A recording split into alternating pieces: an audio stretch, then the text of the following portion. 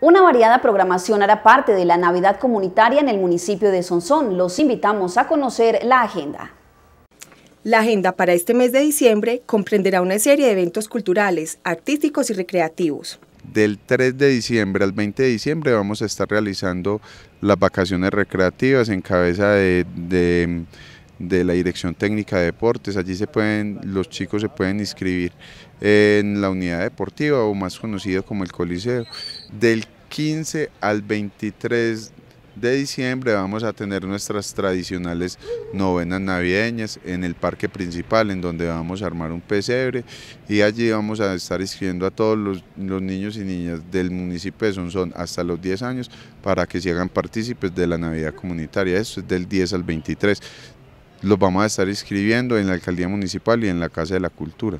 Durante los días 17 y 18 de diciembre se estará llevando a cabo una nueva versión del Festival de Música Entre Nieblas Fest. Donde vamos a tener el primer día rock y el segundo día hip hop. Esto es un festival que ya viene realizándose desde años atrás y lo que queremos es tener unos espacios alternativos para las músicas urbanas y que los muchachos y muchachas del municipio puedan mostrar su arte y también vamos a tener bandas invitadas de la, del oriente cercano y de la ciudad de Medellín para que este evento siga creciendo y siga dinamizando el tema turístico.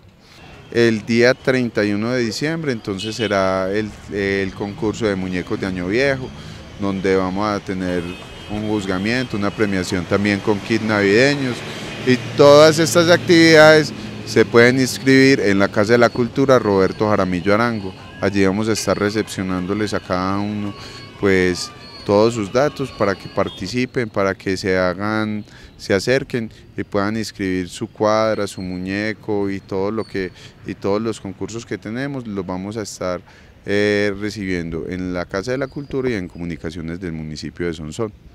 Esta agenda cultural es promovida por la Policía Nacional, la Parroquia de la Catedral, Cornare, la Escuela de Música y la Administración Municipal.